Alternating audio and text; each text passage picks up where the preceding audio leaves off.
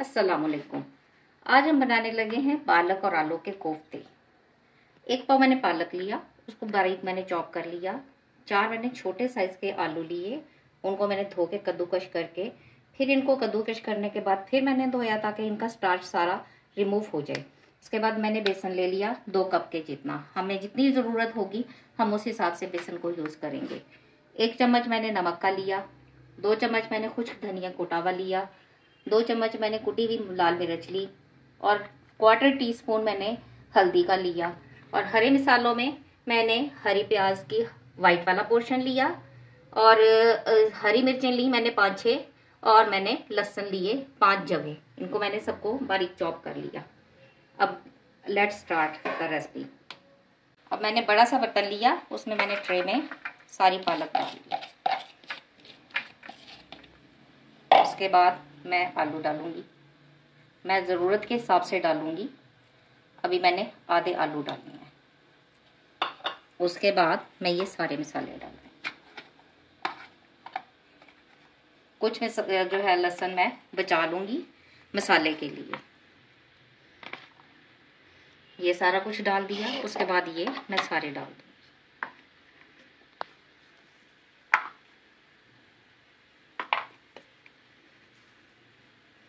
अब हमने इसमें पानी नहीं डालना, हमने इसको इसी से ही गूंदना है।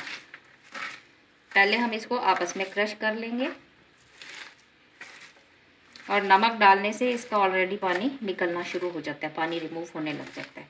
अब हम इसमें बेसन डाल डाल के इसको डो की फॉर्म में लाएँगे।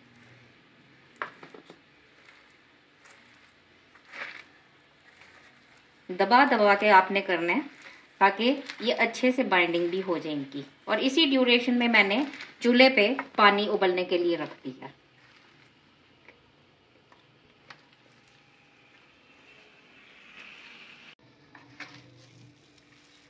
ये देखिए, हमारा सारा सामान, पालक और आलू सिमट चुके हैं। अब हम इनको डो की फॉर्म में ला के फिर इनकी बॉल्स बनाते हैं। ये देखें इस तरह खूब अच्छे से दबा दबा के करते है। ताकि इसकी बहुत अच्छी सी बाइंडिंग हो जाए। चूल्हे पे मैंने पानी डाल दिया उबलने के लिए। ये हमारा बॉयल होता रहेगा। उस ड्यूरेशन में हम बॉल्स क्रिएट करते हैं।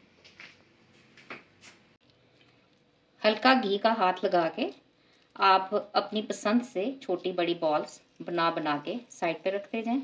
उधर हमारा पानी बॉयल हो जाएगा और इतने में हमारी बॉल्स रेडी हो जाएँगी। बहुत आसान रेसिपी है और बड़ी मज़े की और यूनिक टेम्पटिंग भी, बहुत मज़े की। देखने में भी खूबसूरत।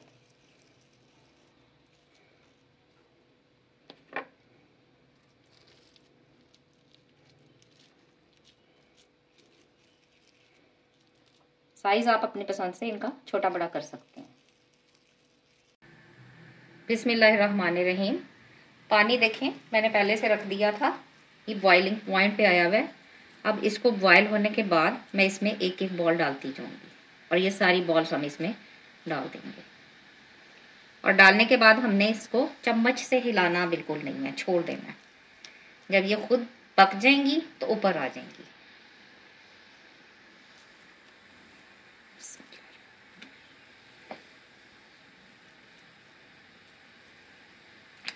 ये देखें, सारी बॉल्स मैंने डाल दी हैं। अब ये बॉयल होती रहेंगी, कम से कम हम इनको पंद्रह मिनट तक पकाएँगे। ये ऊपर आ जाएँगी और पूरे अच्छे तरीके से अंदर तक बेसन, पालक, आलू, हर चीज़ पक जाएगी। अब हम इसका, इसको साइड पे रखते हैं, ये बॉयल होता रहेगा। हम अब इसका सालन का मसाला बनाते हैं। ये देखें, हमारी बॉल्स बॉयल हो रही हैं और ये ऊपर आ गई हैं। इसका मतलब है ये पक चुकी हैं। अब इसमें जो झाग आ रहा है, वो बेसन की वजह से आ रहा है। इसको हम साफ़ कर लेंगे। ये इस तरह से हम इसको साफ़ करके निकाल देंगे। क्योंकि हमने यही पानी इसकी करी में यूज़ करना है। इस पानी को हमने ज़ाया नहीं करना।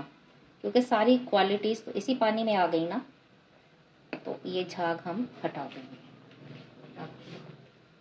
बिस्मिल्लाहिर्रहमानिर्रहीम। मसाले के लिए जो चीज़ें मुझे दरकार होंगी, उसके लिए मैंने हरी प्याज का वाइट पोर्शन लिया, तकरीबन हाफ़ कप जितना। लहसन लिया मैंने दो टेबल स्पून जितना। टमाटर मैंने चार लिए, बिल्कुल छोटे साइज़ के थे, इसलिए मैंने चार लिए। ये गरम मसाला पिसा हुआ ये अजवाइन है half teaspoon half teaspoon कलौजी है हाफ़ टी स्पून ही राई दाना है। नमक एक चम्मच, धनिया एक चम्मच, कुटी हुई लाल मिर्च डेढ़ चम्मच और हल्दी, ये भी हमने पौना चम्मच लिया, पूरा भर के नहीं लिया और दही चार टेबल स्पून मैंने लिया और तेल हसबे ज़रूरत। चलें स्टार्ट करते हैं अपनी रेसिपी रहीम देगची में ऑयल डालें। तकरीबन हाफ़ कप जितना। इसको गर्म करें।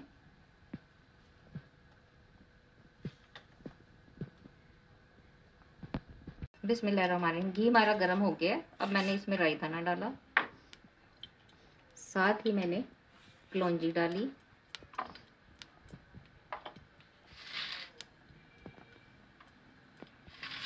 इसको थोड़ा सा हम क्रैकर होने देंगे।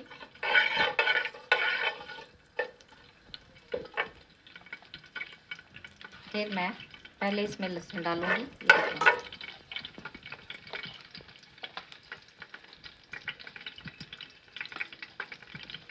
लहसुन को थोड़ा सा सौते कर लें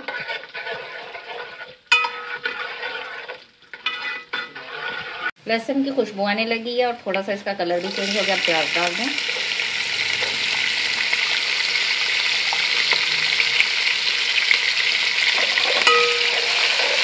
और साथ ही अजवाइन भी डाल दें। बेसन वाला जो भी आप डिश बनाएँ, उसमें अजवाइन ज़रूर डाला करें।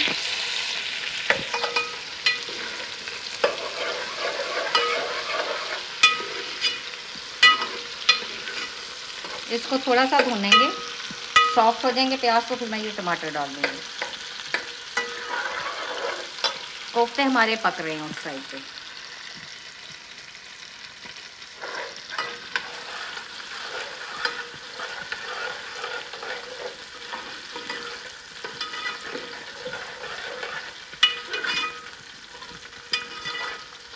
कोफ्ते को चेक करने के लिए टूथपिक लीजिए और ये इसके अंदर देखें।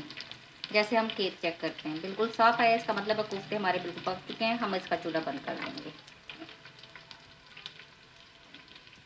अब हम मसाला बना के उसके बाद इसको डालेंगे।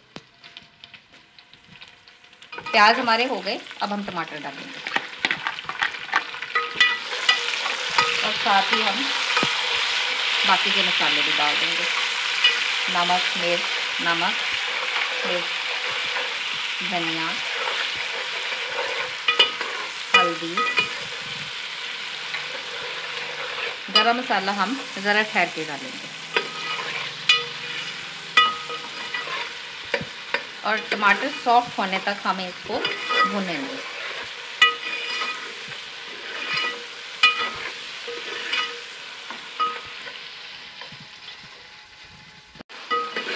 टमाटर हमारे भुन चुके हैं। अब हम इसमें थोड़ा सा पानी डालेंगे ताकि टमाटर गल जाए। मैंने हाफ़ कप जितना पानी डाला इसको हम ढक देंगे ताकि टमाटर हमारे अच्छे से सॉफ्ट हो जाए। आँच हम थोड़ी सी हल्की कर देंगे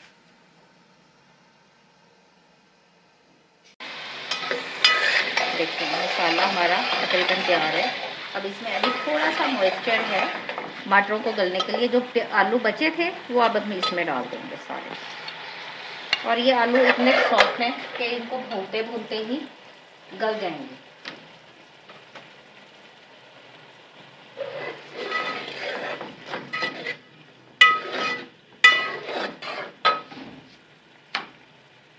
हमारे हो चुके हैं।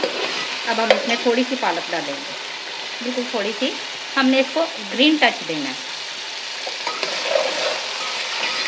इसको भूनेंगे, आलू गल चुके हुए हैं। इसको हम थोड़ी देर भूनेंगे, पालक सॉफ्ट हो जाएगी।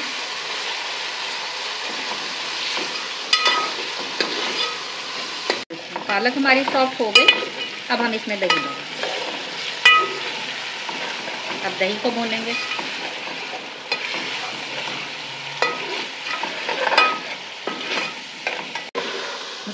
मसाला भुन चुका है, दही भी भुन चुकी है, अब हम इसमें कोफ्ते डाल देंगे। अब कोफ्तों को थोड़ा सा हम भूनेंगे और इसमें ज़्यादा हमने चम्मच नहीं चलाना, अगर चला भी लेते हैं तो ये टूटेंगे नहीं। माशाल्लाह बहुत अच्छे बने हैं, कोई प्रॉब्लम नहीं होगा, ये देखें। इजीली आप इसमें चम्मच चला सकते हैं। इनकी शेप ख़राब नहीं होगी। ये देखें, कोफ्ते भी भून लिए मैंने और इनकी देखें, कोई शेप ख़राब नहीं हुई कोई प्रॉब्लम नहीं होगा। अब मैं जिसमें इसको उबाला था मैंने, पकाया था कोफ्तों को, वो वाला पानी सारा मैं इसमें डालूँगी।